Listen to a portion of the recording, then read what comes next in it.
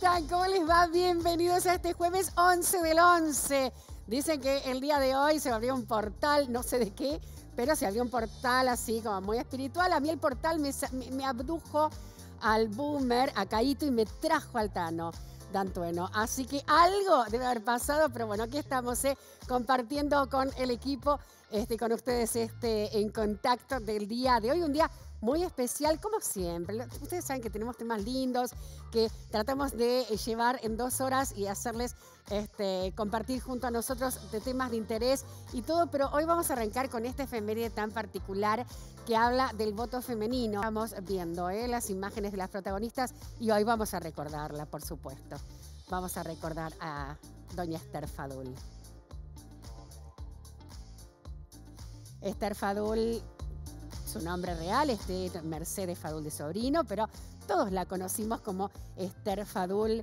Nació allá en 1915 aquí en nuestra ciudad. Fue una dirigente política del peronismo de primera hora en nuestra provincia, la primera representante electa.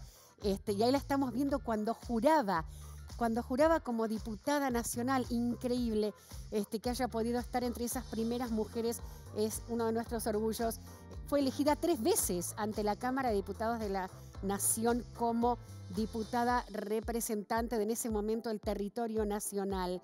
Dos de ellas, este, bueno, fue, fue derrocada, en realidad todo el Congreso fue derrocada por golpes de Estado militares, pero sin lugar a dudas es una de las personas que actuaron decisivamente para la creación de nuestra provincia. En 1951, en las primeras elecciones ordinarias argentinas, fue este, elegida y se convirtió así en la primer fueguina en ser electa para un cargo federal. También fueron elegidas otras 26 mujeres a la Cámara, de las cuales tres, por supuesto entre ellas Esther, representaron a territorios nacionales. Así que bueno, ahí estamos viendo a doña Esther Fadul, una mujer que este, hasta hace muy poco porque la verdad este falleció hace, si consideramos, muy poco tiempo. Este, la veíamos este, en su casa, ahí en la calle Fadol, justamente, este, con su característico tapado. Así que bueno, nada, un, personaje hermoso. Que nos dejó mucho y mucho, saber mucho de política, ¿eh? muy arraigada y muy este, vehemente con lo que pensaba y con su militancia. Muy bien, vamos a compartir los temas del día de hoy que vamos a estar compartiendo con ustedes aquí, por supuesto, en el programa. Y vamos a estar hablando, claro, de Play to Earn. ¿Qué significa este Play to Earn? Vamos a estar hablando con Mariana, que nos trae estas cosas que a mí me dejan, ¿what? Yo estoy minando. ¿Te acordás que hablábamos el otro día, Juan Ignacio, de minar? Bueno, yo estoy minando. ¿Qué voy a ganar? No sé, ya tengo 44 algo. Arranqué bien, y bueno, chicos, es un, es un numerito. Capaz que en un futuro les digo, ay, besitos, carísima, mi amor, millonarísima. Pero bueno, vamos a estar hablando con Mariana, que nos va a estar explicando qué es el Play to Earn. Este, y también después vamos a estar hablando, hoy vamos a estar hablando todo mucho futuro. Vamos a hablar de Futuralia, que es este programa de la televisión pública que transmitimos nosotros con MEX con Violeta Bería. ¿De qué se trata? Eh, es un programa muy lindo, ¿eh? va a salir este viernes y vamos a estar en contacto con ellos, vamos a, hablar, a verlos y vamos a conocer un poquito más en donde padre e hija trabajan juntos este, en Futuralia eh, y nos van a contar exactamente qué es lo que vamos a disfrutar. También vamos a hablar de la Semana de la Ciencia y Tecnología con los chicos de MOSIT. Vamos a estar hablando, los chicos, las chicas y los chiques. No sé quién me toca hoy, con quién voy a estar hablando, pero vamos a hablar de la, la Semana de la Ciencia. ¿Se acuerdan que habíamos hablado la otra vez antes de que llegara la Araucanía? Que había muchas actividades durante todo el mes. Así que vamos a estar ampliando un poquito sobre eso en modo CIT para saber qué nos perdimos por estar trabajando, pero ustedes seguramente pudieron disfrutar y qué nos queda por delante. Vamos a estar hablando de este programa que ya se está grabando en la televisión pública. Es una coproducción con la UNTDF eh, que me parece fantástico. Eh, hay muchos, después vamos a estar hablando de otros programas también, porque los tengo ahí sentados y estoy esperando que termine todo para este, que salgan a hablar y, que conocerlos, que los conozcan un poco más. Pero por lo pronto vamos a estar hablando de esta competencia de rap espectacular, freestyle, que eh, se está grabando y que vamos a compartir acá por la pantalla de la televisión pública Fueguina. Vamos a estar con Fio Sargenti. No, no es viernes, no es viernes. Fio nos mandó hoy una entrevista exclusiva que hizo con Victoria Alonso. Vamos a estar hablando de The Eternals, la nueva película de Marvel. Por supuesto, decimos Marvel, decimos Fio Sargenti. Es así, es muy fan cosa que nos alegra porque tiene este, la posibilidad de, conocer y de entrevistar y hoy nos mandó justamente una de las entrevistas. Y para cerrar viene nuestra Zoe Manzanares, nuestra leak en nutrición. Ella va a estar hablando de legumbres. ¿Estamos aprendiendo a comer mejor? Sí, estamos aprendiendo a comer mejor y tenemos que incorporar legumbres y tenemos que saber cómo incorporarlas, cómo cocinarlas, qué nos conviene, cuándo y dónde. Y ella es súper didáctica para enseñarnos absolutamente todo eso. Así que todo esto y muchísimo más vamos a estar en el día de hoy contándoles. Y bueno, yo les cuento como siempre que estoy vestida por Cazadora de Tendencias. Así que gracias a Vale. Hoy saqué, siguen los tonos neutros. Esta la tengo este, del, principio de primavera, digamos. Eh, o, la prima, bueno, la tengo de este año, eso estoy segura. Eh, pero son estos colores que siguen, así que este, como siempre con un jean de cazadoras, hoy me saqué, hoy, un pele Oxford, así que nada, gracias Vale por acompañarme siempre, gracias a Leo de Staff Estilos y a todo su equipo que me cuida el cabello, por supuesto, corte, color espectacular. Marilena, te extraño. Quiero decirlo, necesito que Marilena vuelva pronto porque arreglarme sola es un problema. Y también, por supuesto, acá está el agua de Anoca, claro que sí. Anoca es el agua que nos acompaña todos los días. Ay, no te la. Espera, aguanta, eh, aguante. Ahí está, Anoca. El, es magia, es mágica agua de nuestra montaña. ¿Para qué me bueno, em, es, mágica, es, mágica. Bueno, el agua de nuestra montaña, gracias Anoca por acompañarnos siempre y por supuesto gracias al grupo Fueguino con las pantallas tanto en um, Onas y Magallanes como en San Martín y Don Bosco. Es la mejor manera de darte a conocer, dar a conocer tus productos. Gracias también, por supuesto, a la gente de Buena Mezcla, a Pame y a Meli que nos acompañan ayer. La torta exquisita. Estaba rica la torta, ¿no? Una bomba exquisita. Igual me faltó me faltaron compañeros porque, claro, la cortamos súper tarde, me faltaron compañeros, así que me comprometo a traer una mañana para que todos puedan disfrutar un pedacito de torta, así que mañana traeré algo hecho por mis manos, en este caso, pero la de ayer y lo mejor siempre, ya sabes, buena mezcla, Meli Pami en 12 de octubre 1775. Los están esperando para dulce o salado, por eso es una buena mezcla. Dicho todo esto, nos vamos a nuestro bloque COVID nuestro vacunómetro. ¡Ay, estamos tan cerca! Yo creo que festejamos con bengalas el día de juguete, ¿no? Esas que hacen y te tiran papelito. Eh, la primera dosis 78,25 en nuestra provincia, segunda dosis 59,43. Claro, empieza a subir porque hoy empezaron ya a aplicar las segundas dosis este, a muchos de los chicos. Así que, bueno, vamos, ¿eh? vamos que nos vamos acercando.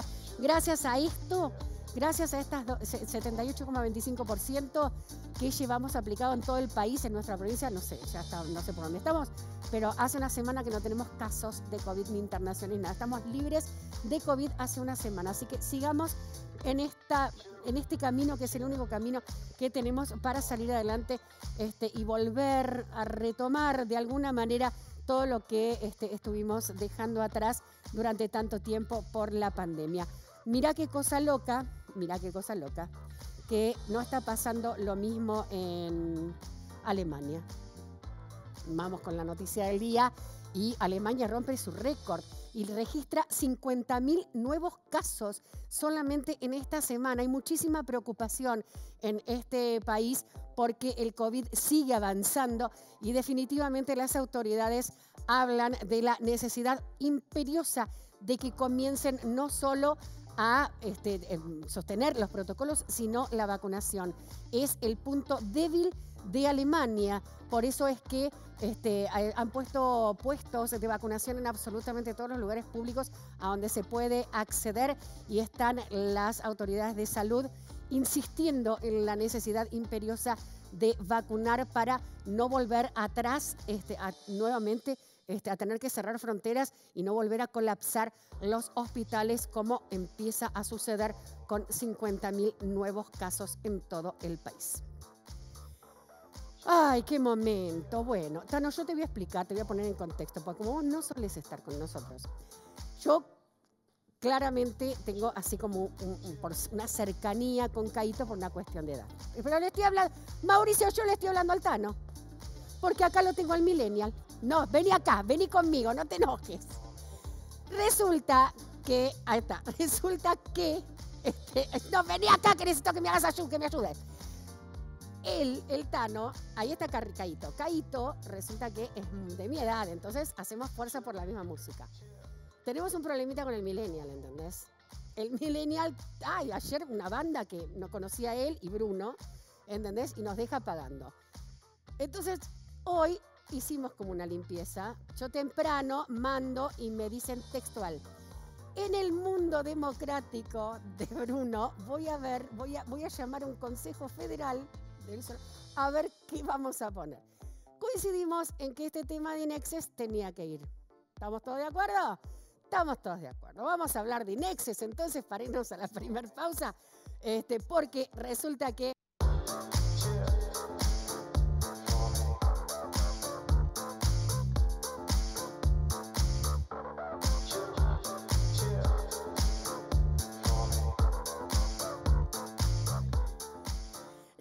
Esta columna me encanta porque lo que aprendo, de verdad aprendo un montón. La tengo a Mariana Carvajal acá conmigo.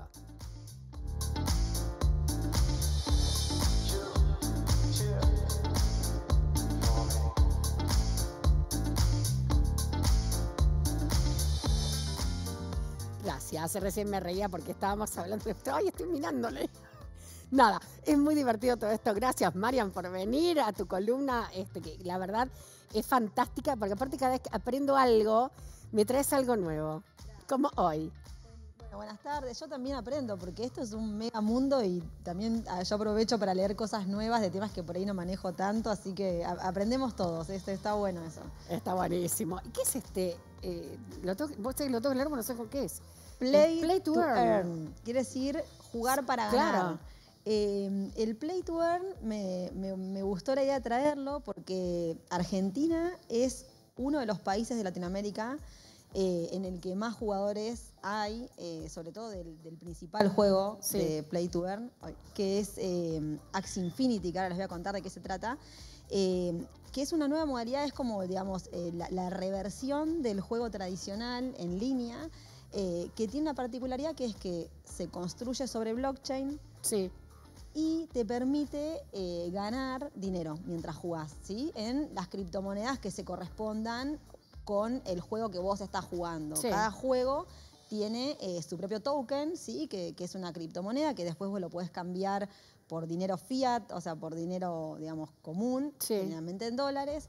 Eh, con lo cual, verdaderamente hay muchas familias en Argentina que están empezando a jugar, a veces juegan los chicos, juegan los grandes. Ajá estos juegos, digamos, eh, son, el más conocido es este que se llama eh, Axie Infinity, Infinity, que, digamos, se juega con unos eh, monstruitos que se llaman Axis, que cada uno de estos Axis es un NFT, que fue lo que vimos. Claro, sí, señora. Exacto, lo que charlamos la, última vez que nos vimos.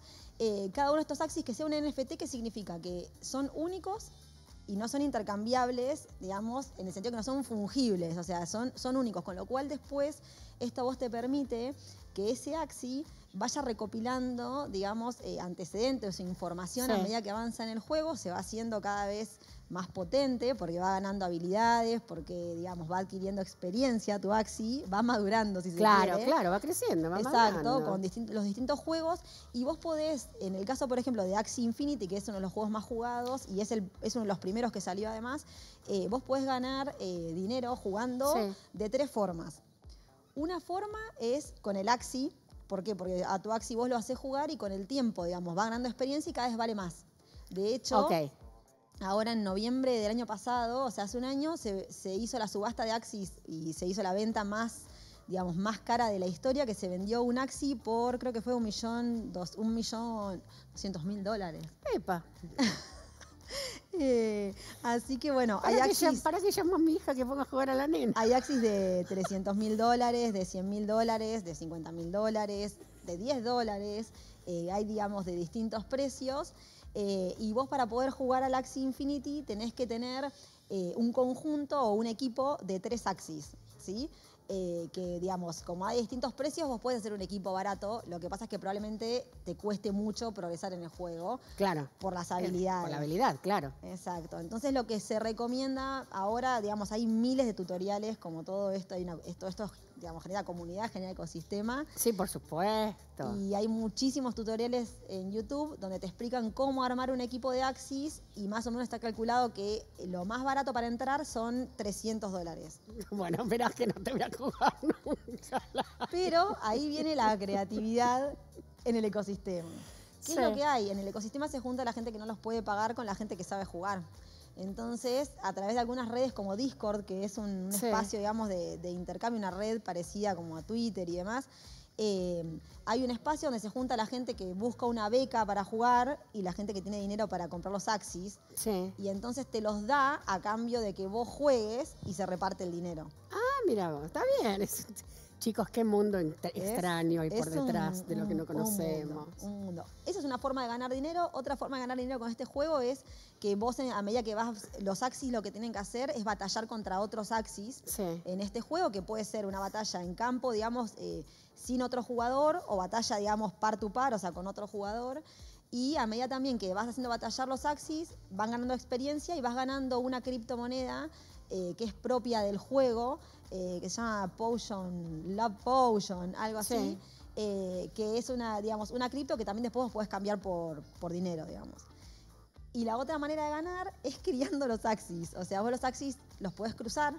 Ay, mi amor, tenés axitos. Exacto, los haces reproducir y hay también tutoriales que te enseñan cuál con cuál cruzar, porque, digamos, está ya previsto que hereden eso te iba a decir, genéticamente deben heredar, mira la pavada que estoy diciendo, pero no importa, se entiende.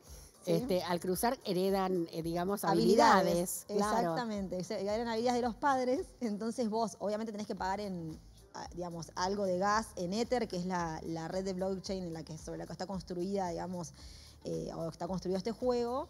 Y, bueno, y los cruzas y te dan como un huevito que también, que después pagas algo de éter para que el huevito madure, después crece y después lo puedes vender. Ay, mira, lo lindo de todo esto es que nosotros estamos aprendiendo, como dice Mariana, pero los adolescentes y los chicos ya lo saben. Entonces yo recomiendo que pregunten en casa, porque ya, te, ya veo que te llega, ¿entendés? la, tarjeta. de crédito con un algo de, ¿entendés? En dólares, si yo no compré nada guarda con eso porque es Totalmente. Un problemón. Exacto. Y está bueno preguntarle a los chicos porque sí, ellos lo saben jugar. Saben, saben, todo. saben jugar. Eh, bueno, pará, perdón, te interrumpí. Un problemón. Pará, porque si capaz que la criatura es buenísima, la inversión que hiciste después te, te, nada, te, vuelven bitcoins, olvídate. Eso te iba a decir que también hay que pensar en eso, que bueno, que, que digamos, muchos adolescentes juegan y por eso te decía que en Argentina hay familias que juegan. Claro. Eh, y bueno, y vos tenés, vos para poder, digamos, eh, hacer tu equipo de Axis, tenés que tener una billetera, una wallet virtual, en la cual, digamos, eh, tenés que tener Ether, que es la criptomoneda asociada, digamos, a la, a la cadena de blockchain sobre la que está construido el juego y también, digamos, tu criptomoneda se va acreditando también en esa wallet y vos después la podés cambiar por dinero. Si los padres administran la wallet, no debería haber mayor. Claro mayor inconveniente. Pero bueno, es, es un ecosistema muy grande eh, y súper, súper interesante. Sí, sí, sí. aparte es fantástico esto de que haya gente, entendés que sea un, universo tan enorme, que haya gente que te beca para que vos le juegues, porque siguen ganando, o sea, eh, permiten... Este, está muy bueno también. Las academias. claro, es como una academia pública, ¿entendés? Las academias de Axie, es hermoso. de Axie Infinity, exacto, se juntan y bueno, y hay chicos que juegan muy bien porque es un juego un poco que tiene que ver, yo nunca lo jugué, pero tiene que ver también con habilidades en las batallas, pues se juega como con unas cartas virtuales. Eh, entonces, digamos, hay jugadores que son mejores y otros que son peores, con lo cual a los chicos que tienen habilidades, bueno, se les da esa posibilidad de jugar con, los axis, o sea, con las bestias de, otra persona, ¿no? Así que no, la verdad que te digo que es re, re interesante. Y este es el, que más se está jugando ahora, pero deben existir otros. Hay otros que son menos, están menos utilizados, se llama eh, Plant vs Zombies. Eh, hay, ah, Plant vs Zombies. Exacto, es, muy parecido a ese. ¿En serio? Sí, pero no sé si es el mismo, pero tiene eh, el nombre, es igual el nombre. y hay otros que también tienen que ver con batallas, que bueno, son menos conocidos, pero también se están jugando. Creo que hay uno de póker también, en blockchain. Eh, lo, interesante es esto de mezclar blockchain con el juego y, con los NFTs que, charlábamos y darle como un uso a ese NFT, porque a vos, digamos, te permite identificar tu monstruo, tu monstruito, digamos, y saber que es el tuyo. Y bueno, y eso, digamos, una vez que, vos lo entrenás y le das las habilidades que, te parece que lo van a hacer, digamos, de mejor reventa, eh, lo vendés en el mercado, en un mercado secundario que, que tiene mucha circulación, ¿no? Hay una página de Twitter en la que podés buscar cuáles son los Axis que están a las ventas y, ver qué, qué, habilidades tiene cada uno y cuánto cuestan. Te van diciendo cuáles fueron los últimos que se vendieron. es, otro mundo. Yo, la miro a Mariana así como tratando de, incorporar toda esta, eh, esto que me estás diciendo, toda esta información, porque la verdad es como, nada, yo me había quedado en, competencias que sé que hay determinados juegos que se hacen a nivel mundial que gana muchísima plata, pero ya esto me excede. Sí, esto me excedió. No, y a nosotros, yo creo que no sabría, yo no sabría jugar a eso. O sea, entiendo cómo funciona, no, pero no póngame uno del Candy Crush, que ese te lo sigo. Claro, claro. Bueno, pero por ejemplo, este, sé porque en mi familia, yo por supuesto no lo miro de lejos porque a mí los juegos no me gustan, no me gustaron ni me gustarán. Pero este, hay uno, por ejemplo, del Señor de los Anillos, que es una comunidad que incluso los creadores eh, es como que eh, se apoyan entre, ellos, entre la comunidad misma este, que generaron como para poder seguir ampliándolo y todo. Este, muchas veces sin hay gente que les pone mucha plata, pero es como a, nivel donación, y otros que, pueden ganar plata jugando plata falsa para comprar cosas del juego. Exacto, que esa es la diferencia con esto. El Play to Earn es la primera vez que a vos te, es un juego como extractivo, o sea, vos te permite Obviamente que el desarrollador gana dinero, porque gana dinero en las transacciones, en la interacción. Pero digamos, es la primera vez que un juego, o sea, o es la primera modalidad de juego que a vos te permite, digamos, eh, de juego online, que te permite sobre todo extraer eh, dinero y, gestionarlo. Eh, digamos, para tu interés. Vos siempre, si no en el resto de los juegos de la Play y demás, vos siempre ponés dinero, como decimos, para comprar las cosas. Para comprar las cosas, claro. Acá vos, digamos, invertís dinero pero bueno, esa inversión, en vez de hacer trading, por ejemplo, como harías con una criptomoneda común, que compras y vendés viendo el precio, eh, acá, digamos, el trading tuyo, si se quiere, está hecho a través de tu propia habilidad de juego para poder, digamos, eh, activar, o, sea, o, digamos, ser parte de esa, de esa comunidad, ¿no? Tal cual, y qué loco, porque en algún momento decíamos, larga la computadora si no vas a, en los jueguitos que no vas a ganar plata con eso, y hoy es todo lo contrario, puedes ganar una fortuna con eso. Exacto, sí, sí, sí, o puedes hacer por lo menos eh, un dinero que para nosotros, con, digamos, con el valor que tiene el peso con relación al dólar, eh, es, bastante interesante, porque por ahí hace 100 dólares, 200 dólares, y bueno, hay para mucha gente que eso verdaderamente es, digamos, un segundo salario, ¿no? Claro, totalmente. Así que es súper interesante, bueno, creo que por eso también somos eh, uno de los países que de, Latinoamérica y del mundo que estamos en el ranking de ah, jugadores, de participantes en, la comunidad de, Axie Infinity. Ah, estamos entre los primeros. Sí, estamos entre los, entre los países que más gente tiene participando. Mira vos, bueno, claro, eh, eh, claramente porque, bueno, por el este, tipo de cambio, el tipo de cambio no, nos beneficia toda la vida. Marian, me encantó. Ahora tengo que empezar a entender de qué se trata esto. Eh, pero está buenísimo. Recién hablábamos, este, antes de empezar la columna, justamente yo le comentaba que había leído una información de que Quentin Tarantino estaba vendiendo NFT, eh, así se llamaban, ¿no? NFTs. NFTs, sobre eh, escenas de películas de, de, él que no fueron parte de ninguna, que le quedaron. Entonces, este, está vendiendo estos NFT Así que es increíble el cómo de repente vos lo mencionaste y empezamos a, empezaron a salir, viste esas cosas que uno dice algo o quiero comprarme tal camioneta o, y empezás a verla por todos lados, sí. ¿entendés? O ay, bueno, justo estás, eh, quédate embarazada y ves todas embarazadas por todos lados. Este, pero bueno, pasó eso, empecé a ver por todos lados este, esto del NFT y evidentemente se viene con todo, así que no sé qué, de la semana que viene vamos a ver qué hablamos. Sí, es un boom. la semana que viene, si quieren, podemos charlar de esto, ¿no? De, esta oportunidad que sale para los artistas de, poder, digamos, a través de los NFT recaudar. Hay un montón de proyectos además solidarios vinculados con eso. Eh, porque también es, es, un, es otro ecosistema, otra comunidad eh, que tiene espacio, digamos, para, participar para un montón de gente, así que si quieren charlamos Ay, sí, hablemos, hablemos, hablemos, que me encantó.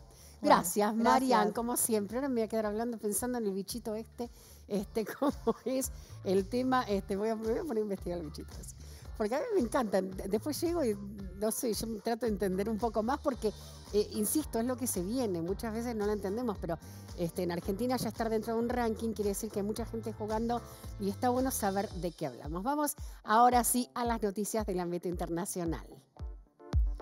Ay, hablando, hablando de todo un poco, hablando de todo un poco. Mira, la Corte rechazó la apelación de Google por una, una, multa antimonopolio.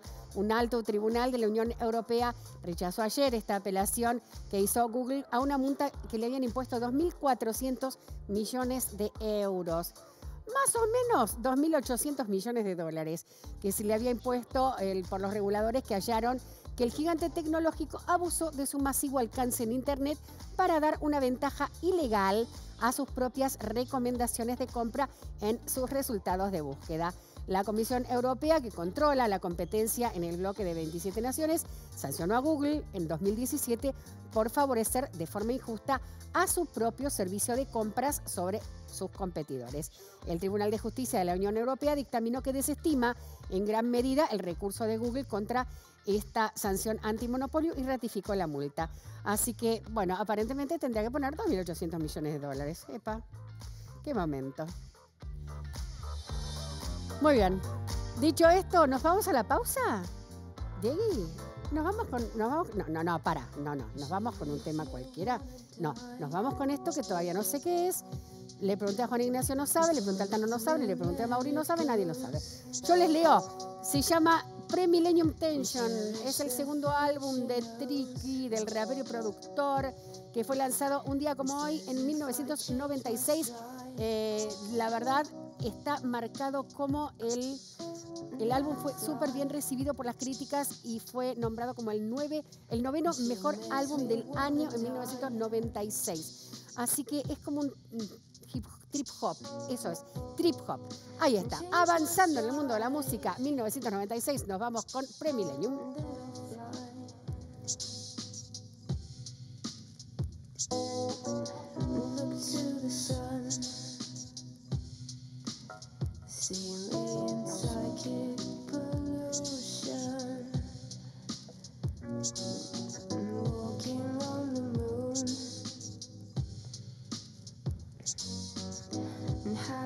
You dare?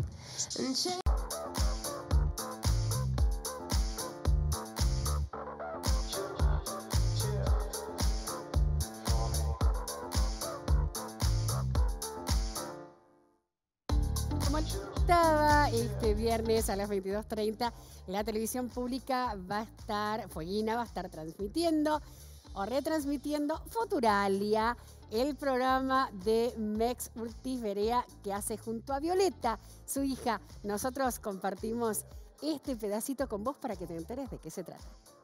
Me llamó telefónicamente el señor Roberto Barandaya para contarme que quería hacer un proyecto con mío y con Violeta y, me contó de qué se trataba, justamente, Futuralia, que es este, que pensar que cómo va a ser la vida después de la pandemia.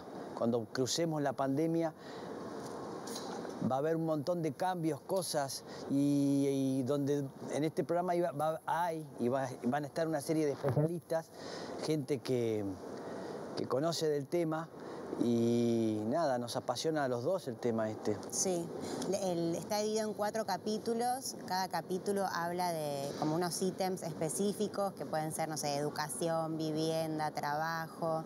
Y a partir de esos ítems eh, se le consulta a especialistas y también a gente común, a niños de todo el país. Eh, de qué se imaginan, de cómo va a ser el futuro. Creo que a los niños también se les consulta, no sé, sobre los vínculos, sobre la, educación, eh, de, cómo si se imaginan, no sé, por ejemplo, teniendo una maestra robot o ese tipo de cosas. Y bueno, ahí está como los testimonios de, toda esta gente, de imaginar así un poco entre todos el, futuro post pandemia. Estamos abrochados en esta pandemia. Eh, viviendo esta situación tan extraña y cada punto de vista de cada lugar, cada geografía es diferente y ven justamente qué imposibilidades van a tener o cómo resolver justo que tiene que ver con su ámbito geográfico. Eh, ellos en la ellos eh, después de la pandemia. Sí, por lo general como los contenidos se realizan acá en Buenos Aires, muchas veces la mirada está muy limitada a lo que pasa acá. Y, nada, sí, sentimos que es súper necesario que poder expandir eso porque si no es como estás contando un pedacito de la realidad nada más. Claro, claro, la, ciudad es una cosa y, y la gente que vive mismo en otras ciudades, cada geografía es diferente, te propone distintas cosas.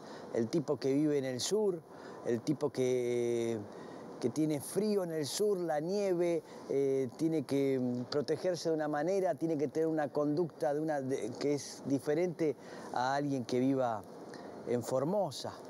Eh, es maravilloso, cada uno va diciendo y, este, y planteándose eh, esto, cómo va a ser después, cómo vamos a seguir, cómo va a continuar todo esto, de qué manera nosotros habíamos dejado de trabajar juntos en proyectos que, realizados por él.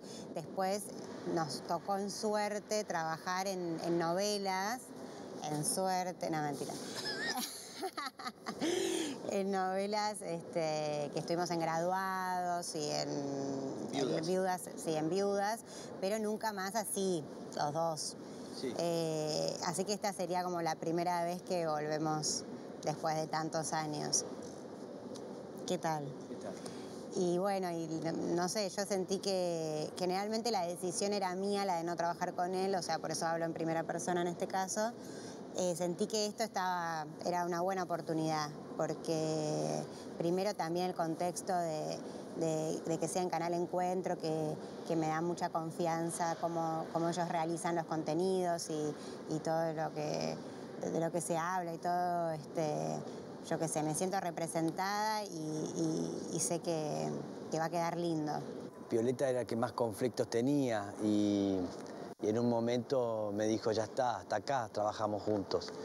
Este, y me soltó la mano. Eh, y está muy bien. Eh, qué sé yo.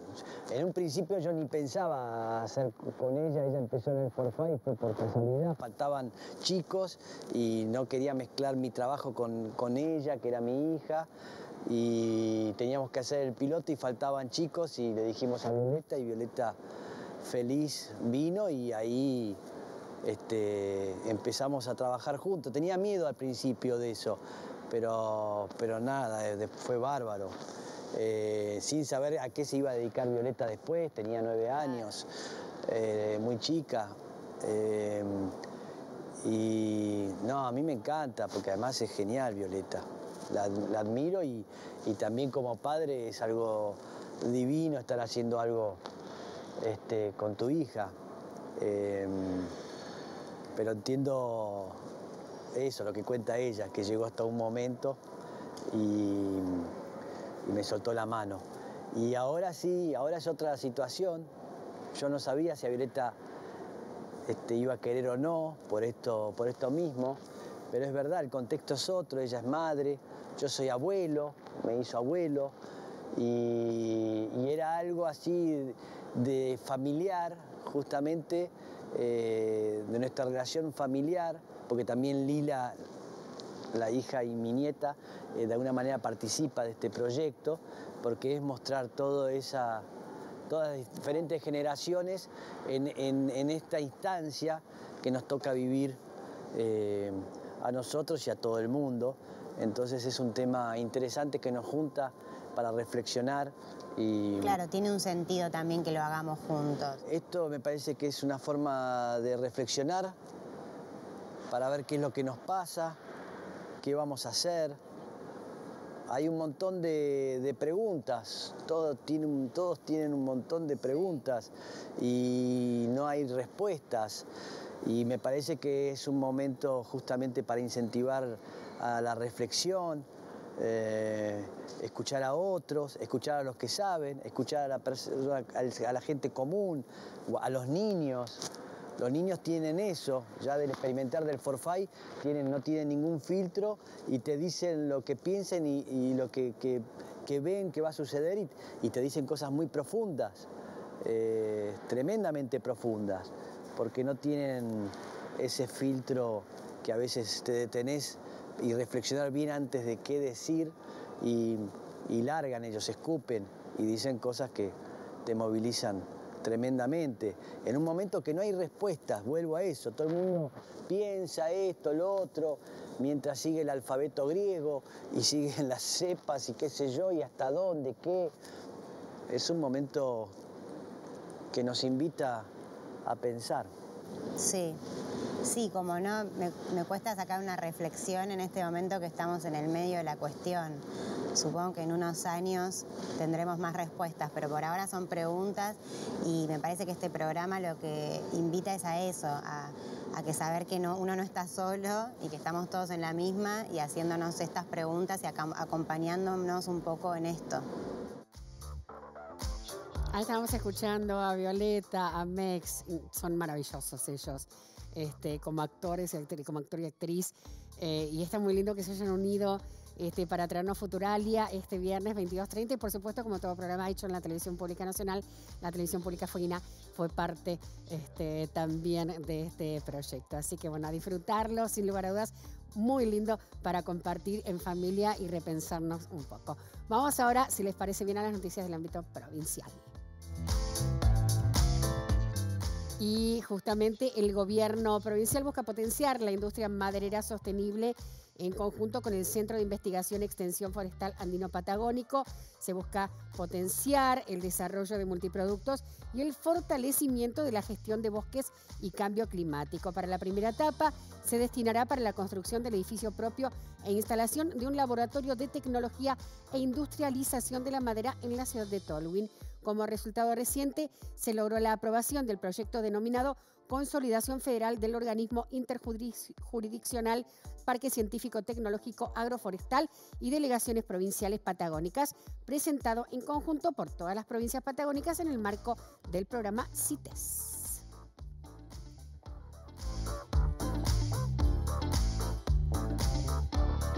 Muy bien, Después de Violeta y de Mex, después de esta noticia, nos vamos un pequeño corte y seguimos aquí, por supuesto, como siempre, con mucho más en contacto hasta las 5 de la tarde.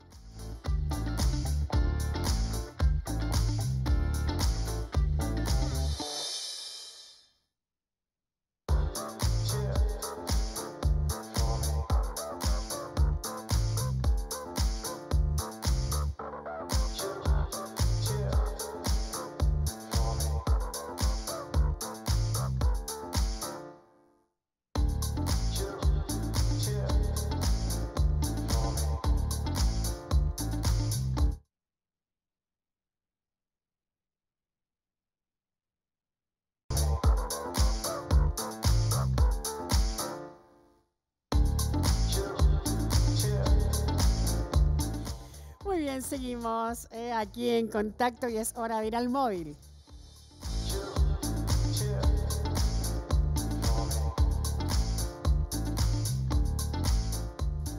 Hola Claudio, ¿cómo estás? ¿Cómo estás, Miriam Ascurra? ¿Cómo te va? Muy bien, todo muy bien. Contame dónde estás y qué estás haciendo. Nosotros estamos acá. Eh, este, este, este, barrio, este barrio es Casa del Sur. Casa del Sur. Muy bien, le agradecemos acá a Inés que me está tirando la letra. Casa del Sur, la verdad, un, lugar hermoso. Estábamos, teníamos un paisaje mejor para mostrar, pero hay mucho viento justo acá en la calle atrás, así que bueno, pero la verdad es un lugar precioso. Nos venimos hasta acá porque la vinimos a visitar, eh, que ella gentilmente accedió a que le hiciéramos la nota, a Inés Aquino, quien es directora del CENS 11. Primero la vamos...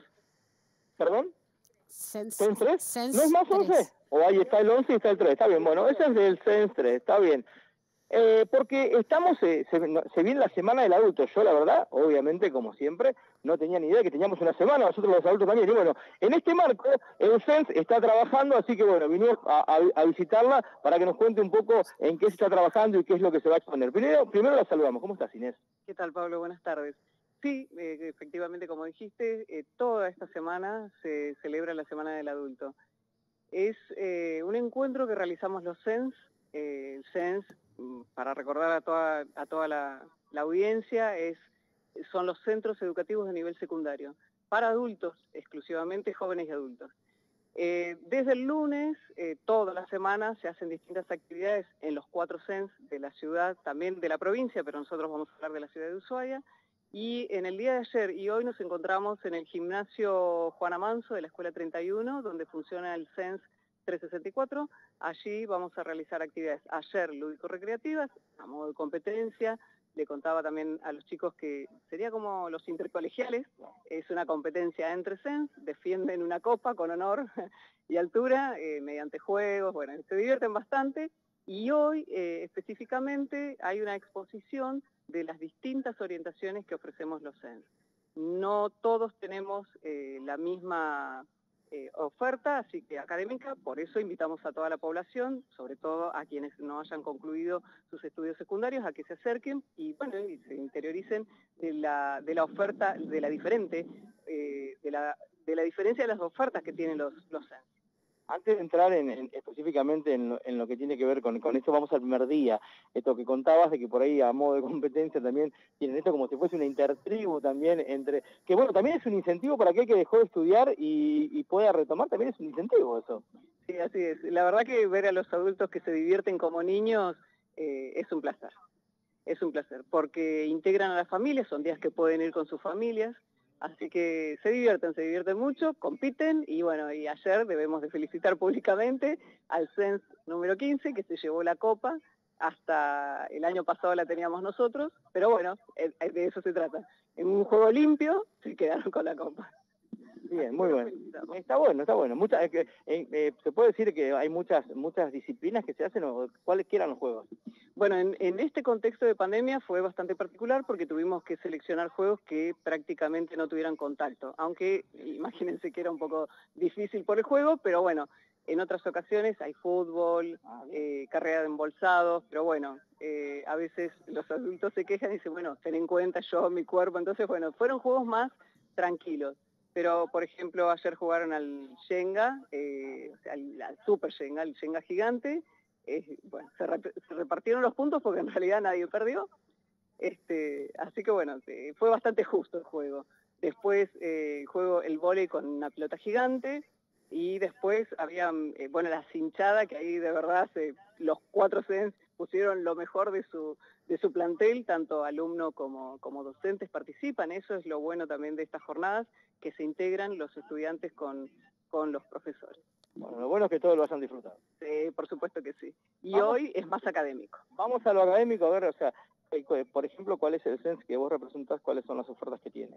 Nosotros tenemos una sola orientación, que es perito en cooperativas mutuales y obras sociales. Y bueno, el resto de los CENS tienen una diversidad de, oferta, por eso los invitamos a que, a que higiene y seguridad, administración de empresa, bueno, y otras que cada uno podrá explicar mejor que yo. Nosotros, cooperativas mutuales y obras sociales, y el objetivo es que los estudiantes tengan los conocimientos mínimos para poder conformar cooperativas de trabajo, por ejemplo. Bien, hoy entonces, eh, quien se quiera eh, enterar de cuáles son, cuál es la oferta que tiene cada uno de los CENS, tiene que ir. Así es a la calle, bueno, Alem, eh, donde es sede el 364, en el gimnasio Juana Manso de la Escuela 31, allí se, van a, se va a realizar lo que sería una expo académica, ¿no? donde cada uno presenta. Van a haber distintos stands donde cada SENS va a mostrar qué es lo que realiza eh, y además de la oferta académica, también trabajos que los docentes hacen con eh, sus estudiantes. Inés, ¿cuántos, ¿cuántos años hace que trabajas en, un, en el CENS? Yo estoy desde el año 2008, pero desde el año 2018 soy la directora de esta institución. Desde el 2008 a hoy, al 2021, eh, ¿ha ido creciendo la, la cantidad de gente que por ahí vuelve al estudio? Sí, tremendamente. En pandemia se notó mucho más porque la gente al quedar sin trabajo y ser por ahí una condición el tener el secundario terminado se volcó y volvió, mucha gente volvió a estudiar. Tanto los adolescentes que no han completado sus estudios, que eso se encarga como el CENS eh, número 15, que tiene una, un proyecto diferente que es para adolescentes. El resto tenemos todos eh, nivel adulto. Eh, la verdad que sí, ha cambiado mucho, inclusive la dinámica de los CENS, porque nosotros, por ejemplo, dentro del CENS número 3 ofrecemos el programa Avanzar, que es el único SENS que lo tiene, eh, que es talleres lúdicos recreativos, donde damos cuidado a los niños y contención a los niños de nuestros estudiantes matriculados. En talleres que donde, bueno, no solamente se trata de, cuidarlos y ver que estén bien, sino también se dan, por ejemplo, talleres de reciclado, talleres de cocina, lengua de señas, musicoterapia, bueno, ¿no? Distintas cosas que los niños realizan durante todas las jornadas mientras sus papás están estudiando. Eso como para que no sea como, como siempre por ahí eh, pasó, que uno tenía que dejar el estudio porque, porque eh, había sido mamá o papá y por ahí no tenía con quién dejar al niño. Claramente. Nosotros recibimos los niños a partir de los dos años de vida porque por una cuestión de espacio no podríamos tener niños eh, menores de los dos años y hasta los 11 años. Ahí, bueno, son aulas que son aulas integradas en distintas edades. Eh, por ejemplo, están de 2 y 3 años, 4, 5 y 6, 7, 8, 9 y 10, y después los más grandecitos se dedican a lo que sería, hay una maestra de nivel primario, y ellas, por ejemplo, si tienen tarea para hacer, se dedica a lo que es apoyo escolar.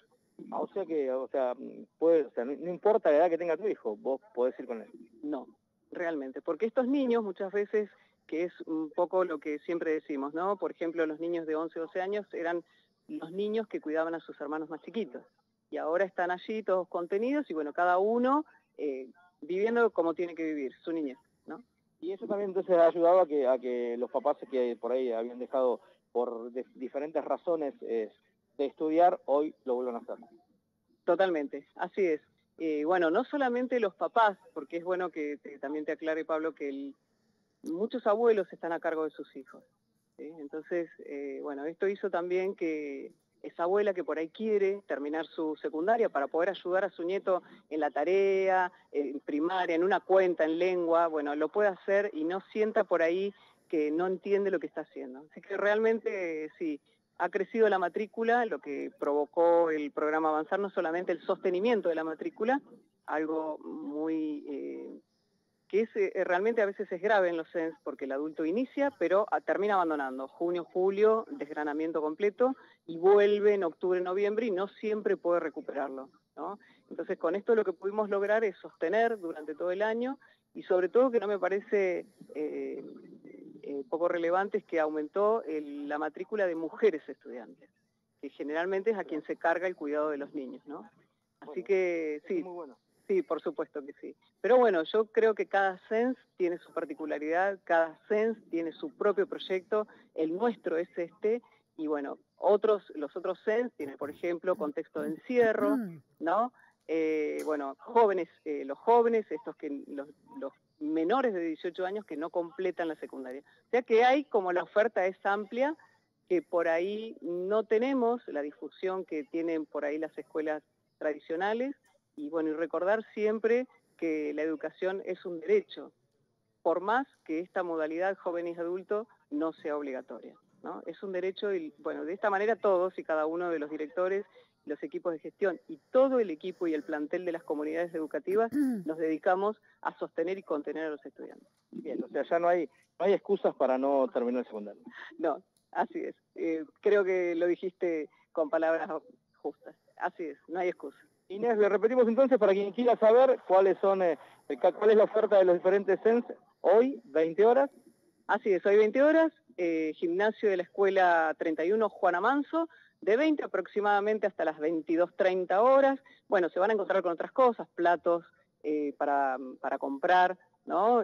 comida, todo, todo cerrado, comida, también rifas, bueno, hacemos de todo un poco, hacemos de todo un poco para hacer un poco más amena la tarde. Están todos invitados, Inés, muchas gracias. No, gracias a ustedes por la invitación también y la colaboración en este evento que nos convoca a todos. Muchas gracias. Así estamos entonces, Miriam, nosotros nos despedimos desde acá.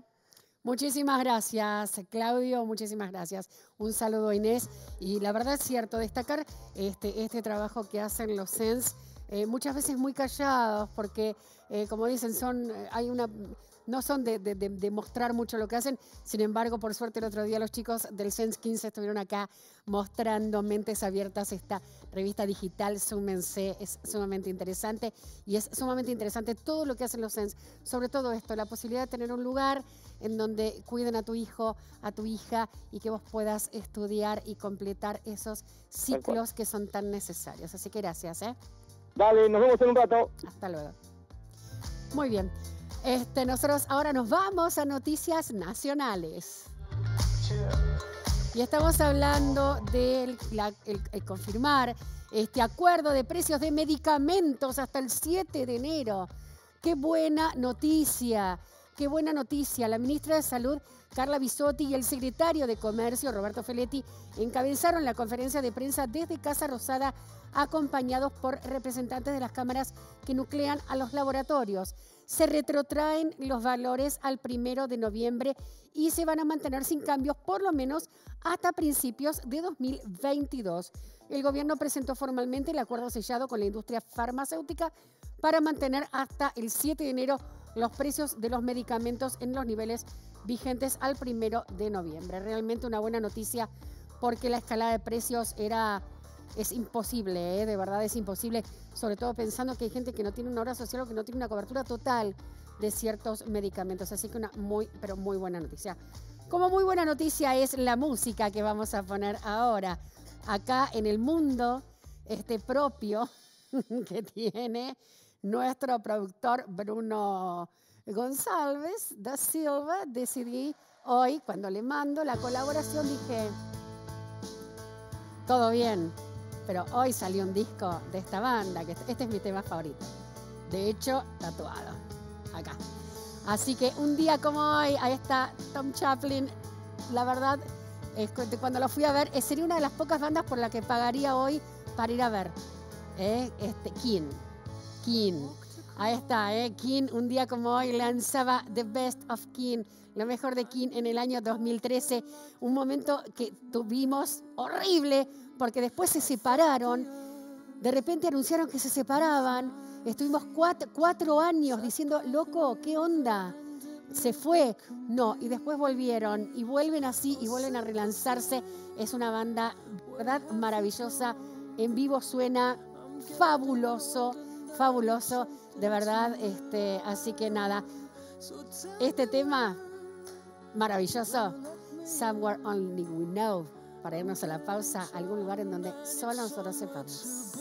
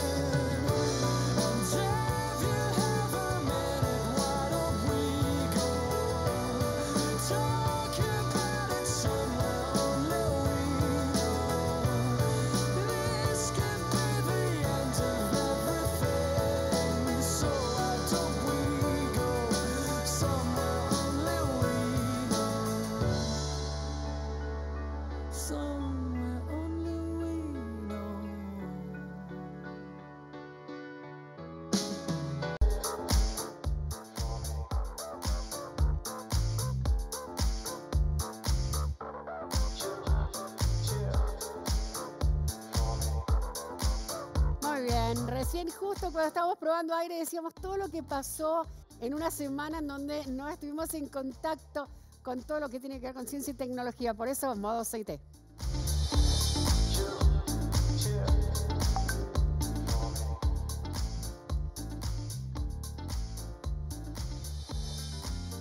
Hola Dex, pasó un montón. Un montón ¿Cómo andan tanto tiempo? Bien, ¿vos qué onda? ¿Todo bien? Re bien, re, re bien, porque hay un montón de cosas, hay un montón de actividades. Así de pleno que estuvieron ustedes con los Juegos de la Araucanía, estamos en el Polo Creativo durante todo este mes. Ah, buenísimo. Claro, porque es el mes de la ciencia y la tecnología. Claro. Eh, y había, yo me acuerdo que habías planteado que venían un montón de actividades bueno, ahora que nos pasó la Araucanía a nosotros, este, contame qué nos perdimos y qué viene. Bueno, se están haciendo un montón de cosas, pero esto a nivel nacional. Ah, porque en toda la Argentina, muchos sectores, eh, instituciones, personas, eh, todo lo que está relacionado con la ciencia se está activando, pero un montón, un montón, un montón. Qué bueno. Sí, sí, la verdad se, viene esta semana de la ciencia, entre comillas, porque en realidad acá en Tierra del Fuego tenemos casi todo un mes, todo un mes lleno de actividades en Río Grande, en Ushuaia, hasta incluso en Tolwyn, o sea, hay muchas, muchas cosas que se van haciendo. Bueno, ahí estoy viendo que están poniendo como un pequeño fragmento de invitación para una especie de cine debate de ciencia. Ah, qué interesante. Interesantísimo.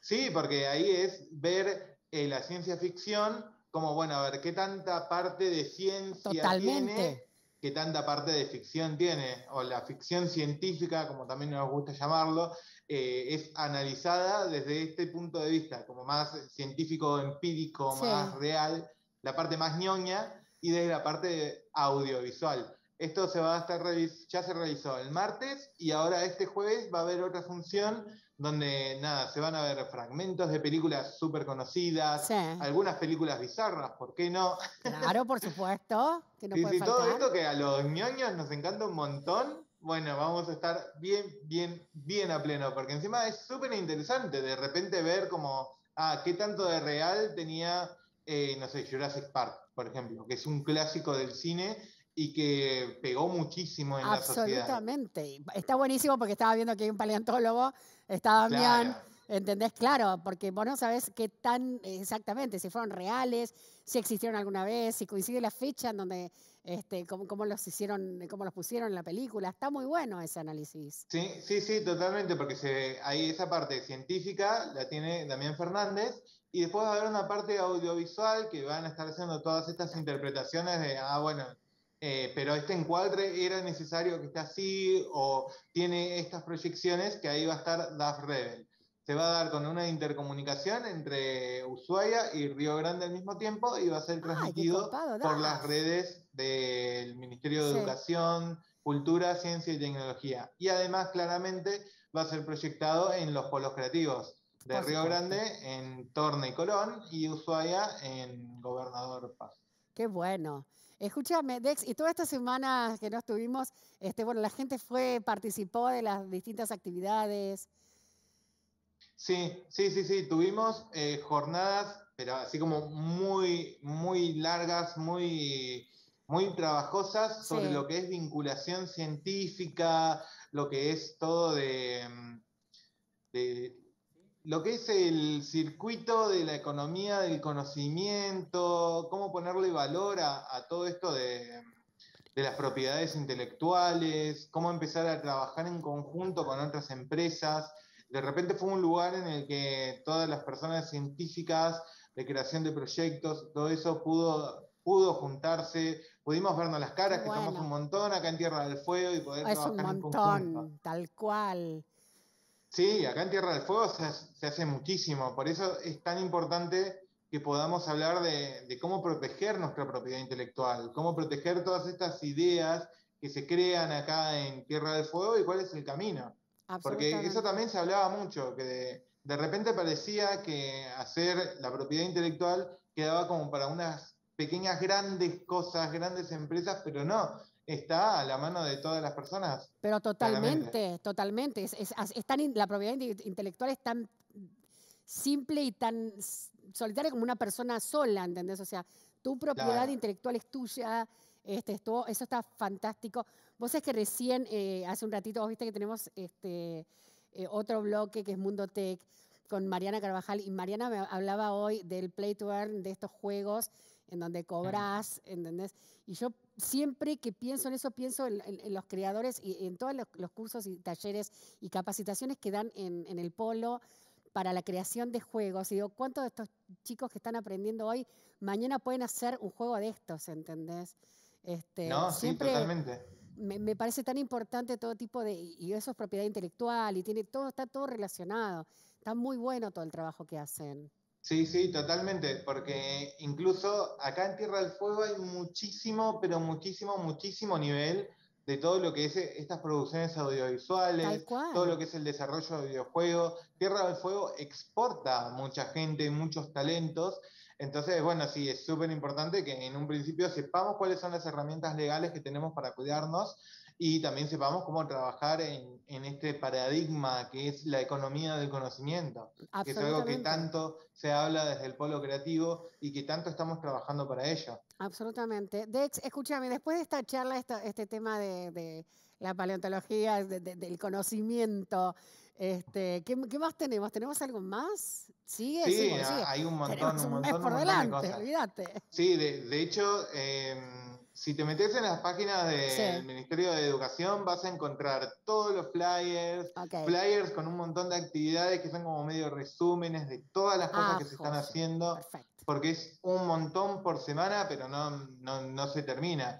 Pero hay algunas cosas que son como pequeñas joyas, o que por ahí está bueno para que la gente lo sepa. Por ejemplo, va a haber una charla de la empresa Red Hat Red Hat es eh, una empresa súper importante que trabaja a nivel internacional con todo esto que tiene que ver con el desarrollo de software, con todas estas tecnologías blandas y ciencias blandas. Y vamos a estar hablando de un montón de cosas. No solamente con software, sino también cuál es el rol de la mujer dentro de toda esta industria y cuál es el posicionamiento de las científicas femeninas y de disidencias dentro de todos estos lugares. Personalmente es una charla que la estoy esperando muchísimo porque me interesa mucho. Olvídate. Qué bueno, qué bueno que traigan esta charla. Qué bueno y qué interesante. Porque es hora de, repensarnos en muchísimas cosas. Nos estamos deconstruyendo y esto es parte también. Así que bueno, ahí estaremos. ¿eh? Este, ¿Cuándo es esta? ¿Cuándo es la Red Hat? La de Red Hat va a ser el próximo, la próxima semana. Ok el día miércoles a las 15 horas. Perfecto. El día jueves, digo, a las 15 horas. Se va a dar en simultáneo en Río Grande y en Ushuaia y también se va a, se va a retransmitir por las páginas de Facebook del Ministerio de Educación, Cultura, Ciencia y Tecnología. Genial. Bueno, es súper importante que tengamos esta perspectiva feminista, transeccional, para que podamos empezar a ver realmente y socialmente qué es lo que pasa con todas todos estos nuevos lugares, entre comillas, todos estos nuevos trabajos de la industria del conocimiento, cuál es el rol que ocupa las feminidades y las expresiones de género no masculinas. Absolutamente. que eso es algo que siempre se trabaja en el polo con perspectiva de género y en vista a la inclusión, a la real inclusión en estos nuevos puestos de trabajo. Absolutamente. Porque si bien, si bien en el polo creativo trabajamos mucho con lo que tiene que ver cuestiones artísticas como desarrollo de videojuegos, eh, desarrollos audiovisuales, audiocuentos, etcétera, siempre se tiene en vista esta industria del conocimiento que, a fin de cuentas, para insertarnos ahí y ver cómo podemos capitalizar todo esto. Me encantó, me parece fantástico. Dex, hablamos la semana que viene.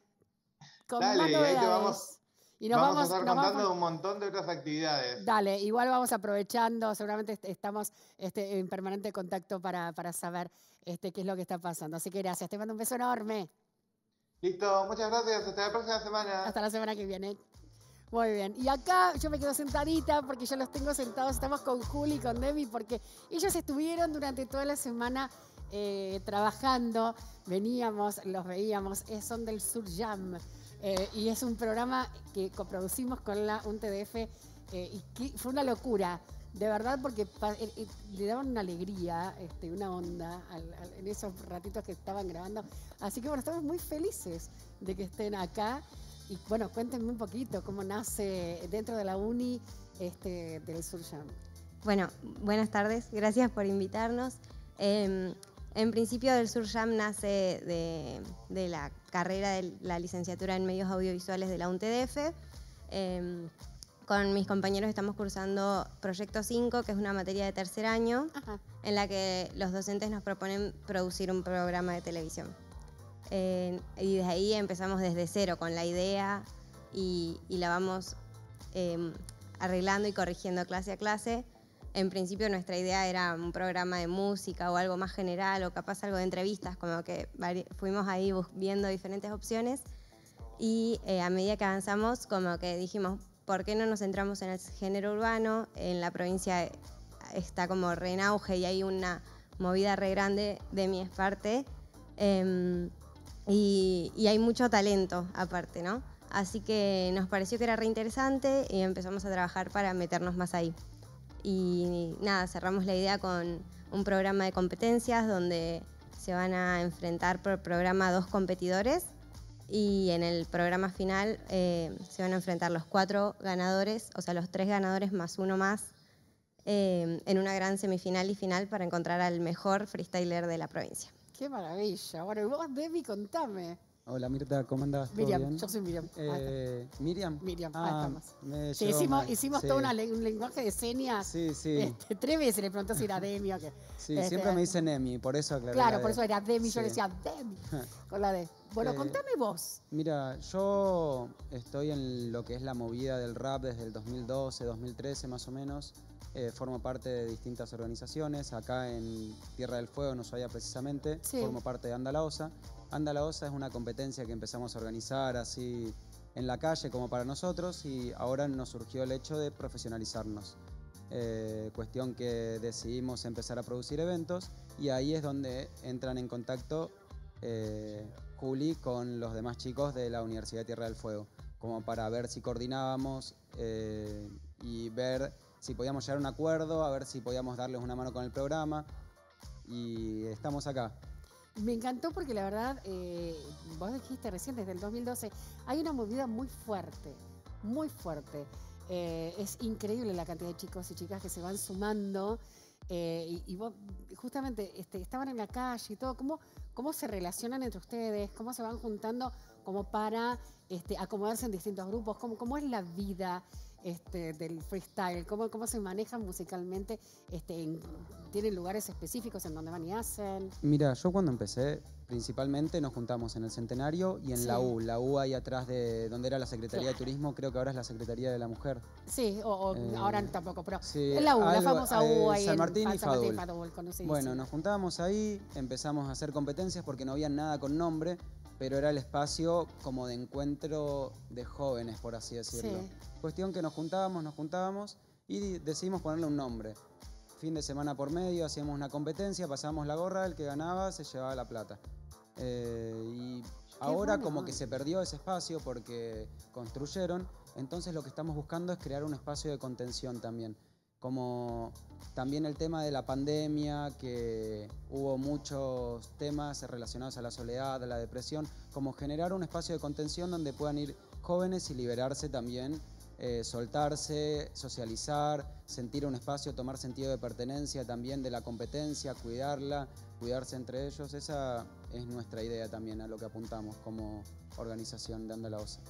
¿Y ustedes este, Juli, eh, llegaron, eh, dijimos, a, buscar, decidieron ir por, la música freestyle.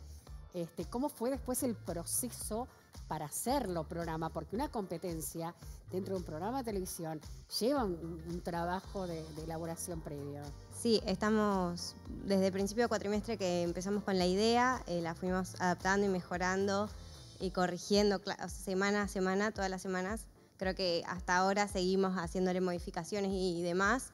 Em, y nada, entre nosotros todos tenemos más o menos la misma edad y uno de los chicos del grupo está como más metido en, el ambiente y le reinteresa, entonces nos, sugirió em, centrarnos en el freestyle y ahí fueron surgiendo nombres, empezamos a, a, escribir porque hay compañeros de la uni que también son parte de la organización, entonces eh, pidiendo nombres, a ver quién se les ocurría que nos podía dar una mano y que le interesara sumarse.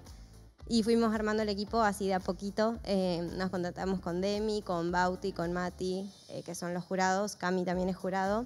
Perfecto. Eh, y nada, por suerte también del canal nos dan una mano enorme acomodando y ayudándonos a armar las rutinas y cosas que, que hasta ahora no habíamos visto como en profundidad en las facu. En general siempre nos centrábamos en, en ficciones y nada, este cuatrimestre fue no, lleno de información, porque todos los días estamos aprendiendo algo nuevo, que está buenísimo y por suerte, como que por ahora con todas las personas que nos cruzamos nos ayudan en todo y nos dan tips y demás cosas, así que estamos recontentos.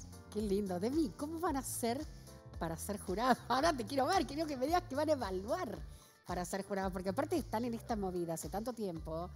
Eh, que deben tener, no digo preferencia, pero saben cuál es el estilo de cada uno, entonces este, evaluar un par con el que muchas veces estuviste este, rapeando, es, va a ser difícil, pero ¿cómo van a hacer? Contame. Mira, yo personalmente te puedo dar mi vista. Yo ahora estoy conduciendo el programa, pero... el host. Claro. Pero también fui jurado. Eh, fuera de Anda también organicé Misión Hip Hop, que es una competencia alrededor de Argentina. Entonces era el jurado que viajaba a distintos lados. Y Cuestión que es como que tenés que ponerte en un punto neutro, no tener favoritismo, tampoco guiarte mucho por tus gustos musicales, porque por ahí a mí me puede gustar, no sé, lo que es rap más tranqui así, y el trap por ahí no me llama tanto la atención, no es que no me gusta. Pero si viene uno que hace trap y que la rompe, yo tengo que reconocer que es mejor. Entonces ponerte en un punto neutro, acá lo que hacemos en el programa en Del Sur Jam es una votación por planilla, entonces es un poco más fácil. Van patrón por patrón, que son como más o menos 10 segundos, eh, van siguiendo como estrofas y van votando ahí según si usaron la palabra, si usaron la temática, si le respondieron, si no le respondieron, si crearon con una situación del momento, por ejemplo, no es lo mismo, se me cae el vaso y yo rapeo sobre que se me cayó el vaso, a algo que yo pueda decirte a vos, como se lo pueda decir a Juli, como se lo pueda decir al cámara algo eh, más general. Claro, algo más genérico no es lo mismo que algo por ahí que surge espontáneamente. Entonces el jurado tiene que estar como preparado para afrontar eso. Ah, qué maravilla. No, por aparte, de verdad, eh, a ver, eh, si bien uno improvisa en todo momento, este, al estar frente a una cámara, en una entrevista, o sea, vos tenés que tener esa habilidad y esa rapidez para improvisar este, y para hablar. Eh, la verdad, tiene una magia el rap. Este, y el O sea, ya eh, de por sí el tener que la métrica, eh, el, que la palabra rime también, y el de la nada que te digan botella y hacer un tema de eso, es una locura es, una, es para mí de verdad, o sea, ¿cómo fuiste desarrollando esa habilidad? Porque no es fácil, de verdad no es fácil. Y, lo tiene en el alma, ¿eh? Porque yo le estoy hablando y él va, no sé si está con la métrica tiene ya el ritmo adentro, está con las manos, es maravilloso. Y, o sea, para que te des una idea, mi mamá a veces cuando discutimos me dice que yo me pongo a rapear cuando discutimos. O sea, como que, no sé, es algo que te termina saliendo. Eh, yo personalmente me metí en el tema del rap de chiquito escuchaba Eminem cuando tenía 7, 8 años, pero después más en el tema del freestyle, una vez estaba mirando, salió un video de batallas de dos, dos raperos que son bastante conocidos. Después de eso me recomendó uno que se hacía en Argentina, en Buenos Aires, y después a la semana siguiente me apareció una publicación de Facebook que es uno de los chicos eh, que está hoy también en la organización de, de la OSA, Nochi, que él eh, compartía, decía, nos vamos a juntar en San Martín y Fadul. Y cuestión que yo caí, yo iba para reírme como nos insultamos, pero sanamente, porque el rap surgió para eso. O sea, en vez de resolver los problemas peleándose o con violencia física, es como, bueno, vos decís todo en la batalla, listo, te descargás, ya está, queda ahí. No vaya a ser problema, porque es como también, eh, por así decirlo, es un código de la cultura hip hop. Y como que empecé a meter por ahí, después fui descubriendo la cultura, fui desarrollando un poco más, me metí más en la música, después me puse a escribir, también me puse a producir, eh, y como que fue meterme por todos lados y me terminó como, ahora lo siento como una necesidad, por así decirlo. Totalmente. Bueno, Juli, eh, falta muy poco para el estreno, este, para ir cerrando, así quiero cerrar, pero quiero cerrar con, con Demi. Em, ¿qué, ¿Qué es lo que falta? Porque ¿En qué estado, en qué momento están de la grabación? Bueno, estamos terminando como acomodándonos. Eh, este fin de semana seguimos grabando. y se va a estrenar dentro de muy poquito, eh, los sábados a las 22 horas por la TV pública, así que eh, nos pueden seguir en nuestras redes, arroba del Surjam, para enterarse más y estar al día de eh, quién viene, cómo va, y ahí va a salir todo, dentro de muy poquito por la TV pública.